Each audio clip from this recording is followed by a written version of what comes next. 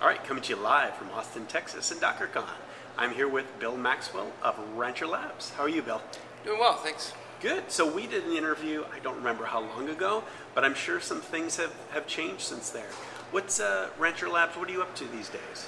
This has been a pretty big week for us, uh, and as far as announcements go. Um, we announced uh, GA of our Rancher OS uh, operating system, uh, so that's now at 1.0, um, doing quite well.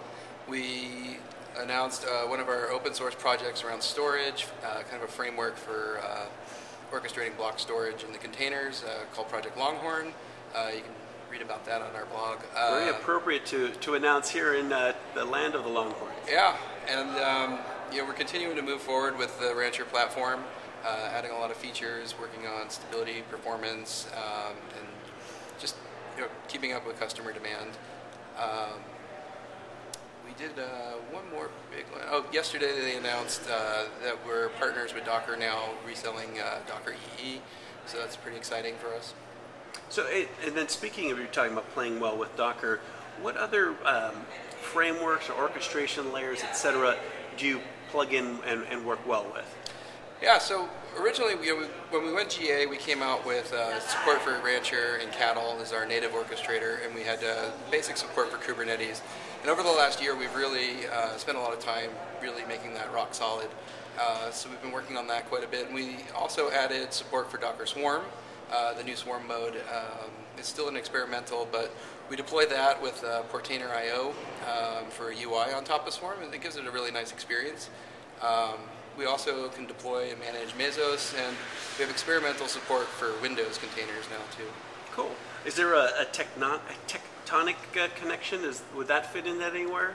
Um, no, we, we, don't work with Tectonic right now. Um, I think kind of they that's a whole stack type of solution, and so you know we're uh, just in different spaces. Okay, and then back to the Kubernetes. How does that actually work?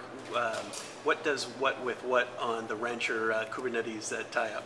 Yeah, so originally when we first started, we were trying to build um, kind of our own stuff around Kubernetes, and we quickly realized that you know, the Kubernetes ecosystem is moving fast and, and moving in a really great direction. So we sort of backed off of that approach, and now we kind of we, we have more of a distro approach. So we package up Kubernetes. We include the Kubernetes dashboard from the upstream community. We include Tiller so that they can use Helm out of the box, Heapster, um, uh, InfluxDB, and uh, SkyDNS. So we just package that all. So as soon as it's deployed, you're able to use a, have a great Kubernetes experience. And then, you know, Rancher under the hood there is providing uh, the orchestration and management of the, uh, the management tier, and as you add nodes to the Kubernetes cluster, um, you know, we're, we're, facilitating that. And then we provide our uh, IPsec-based networking to it so containers can communicate, and then we also do the ingress controller implementation. So as you expose your services, we're building out um, our implementation of uh, HA proxy to uh, expose those services to the cluster. Cool. And then semi-random question. So Sheng, your C, uh, CEO, came from Sun, where he did a lot of cool Java stuff. Mm-hmm. Is there any Java connection here?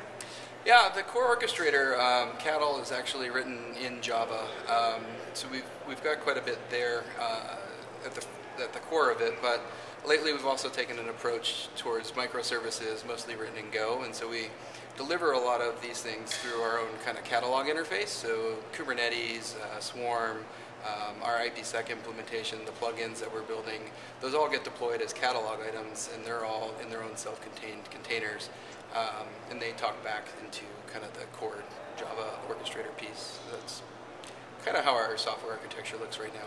Cool. Mr. Maxwell, thank you so much. Thank you.